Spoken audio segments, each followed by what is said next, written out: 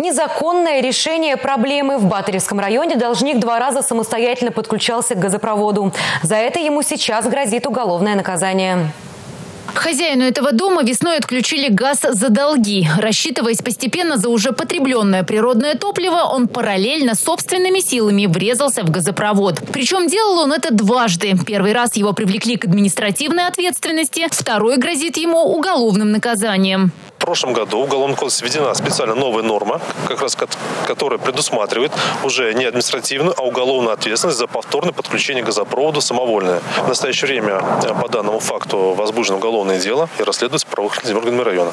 Ранее по подобным фактам э, уголовные дела не возбуждались. Данное уголовное дело является первым и поэтому находится на контроле. По этой статье грозит до двух лет лишения свободы, хотя по данным прокуратуры района семья достаточно благополучная. Хозяин дома объясняет нарушение неблагоприятными разными жизненными обстоятельствами, но закон один для всех. Фактически у нас за неуплату, значит, было в этом году отключено 2500 абонентов, 2500. За нарушение техники безопасности, за э, несанкционированное как раз в том числе подключение 1500 абонентов. То есть это большая работа, нами проводится постоянно. Специалисты напоминают, что такие самовольные врезки в газовые трубы грозят и другими серьезными последствиями. Утечка газа может привести к взрыву. Подумайте о безопасности своей и ваших близких. Татьяна Трофимова, Бахтияр Велиев, Республика.